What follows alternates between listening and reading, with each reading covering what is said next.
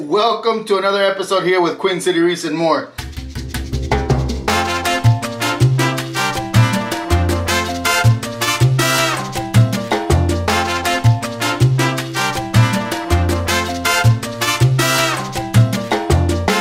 We finally have the fish that I ordered from drquarantinefish.com. So, like every other shipment, a uh, styrofoam box. And take a look in here. There is just newspaper with a cold pack and the fish. So I'll disclose what I got. This right here is a butterfly, another copper band butterfly. This one's gonna go into the Mega Matrix. Then we have, wow, this is small. A ruby red dragonet. This one will go into this peninsula in the office.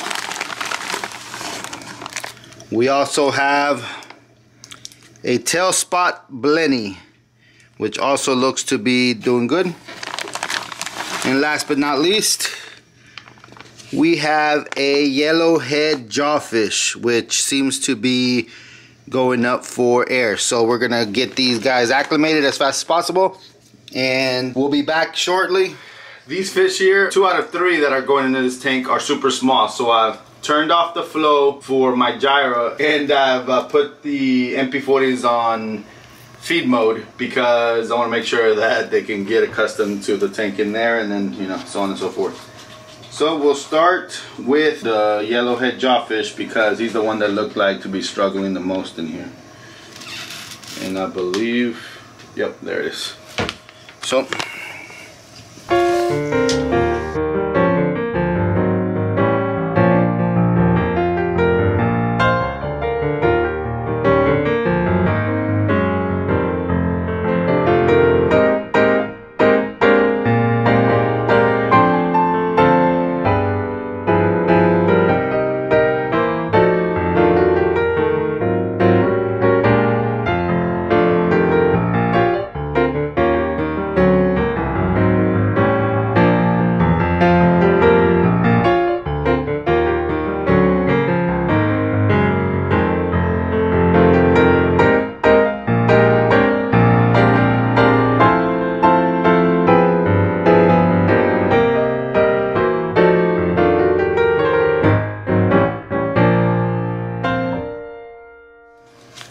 Next is going to be this ruby red dragonet.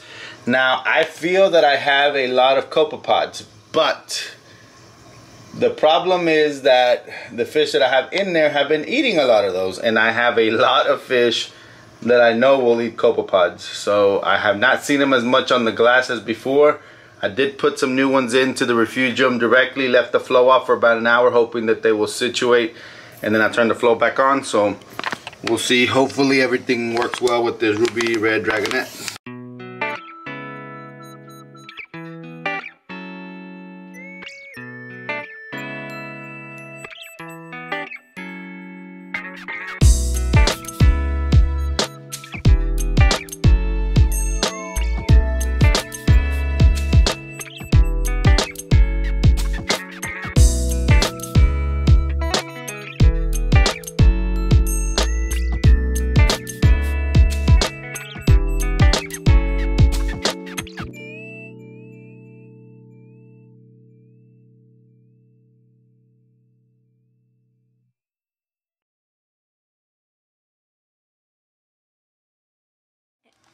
Last but not least is this tiny, tiny, tiny tail spot blenny. All right, take a look. There's a little guy right there. That this you is. can't even see him.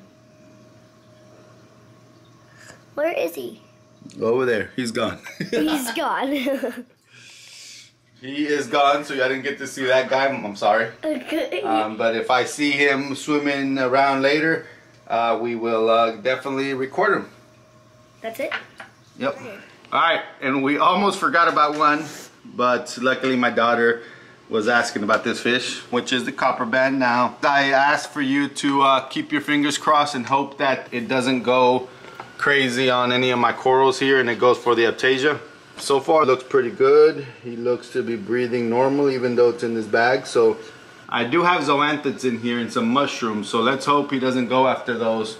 If the if he does, just know there'll be a copper band available for those that want one. He's in. He is in. He's showing off. Release the Kraken! He's showing off his color. Dang, I don't know where he is. He is going to be the first fish in this tank. He's going to be the first fish in this tank in a while because the rest are still there. Now, two of my tanks are have gone through the quarantine process. They're still in observation. I will tell you that one of these fish right here, let's, you know, the, the lights are off right now because I don't feel a need for the lights. But I have these fish in here the storm clowns, black spot tang, and one of the uh, Yellow. Hawaiian yellow eye Kole tang. So I can tell you that they are out of quarantine. They went through 37 days of copper power. I about a week and a half ago I removed the copper power from the water by doing a super large water change and putting some carbon in there. Now there's some info that carbon doesn't actually remove copper, but again, the percentage of copper in there from the water change that I did is possibly very low.